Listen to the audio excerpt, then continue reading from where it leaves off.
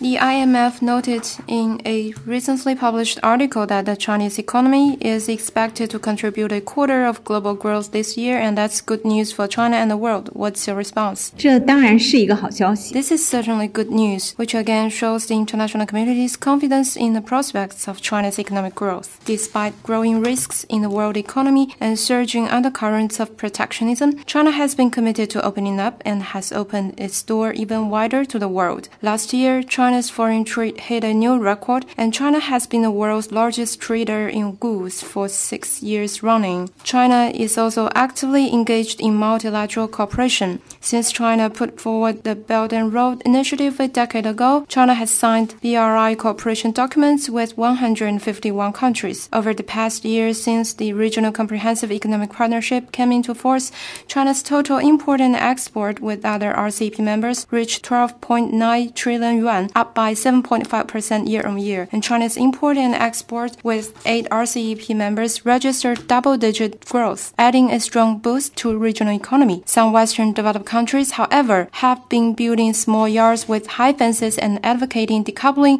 and disruption of industrial and supply chains. They imposed you know, additional tariffs to rectify trade deficits, restricted foreign investment to defend national security, and put in place technological blockade to protect intellectual property. In a highly independent world, interdependent world, protectionist moves will boomerang, and practices of decoupling and supply disruption are neither feasible nor sustainable. China will stay on a course of high level opening up and work with the world to help each other succeed and usher in a better future.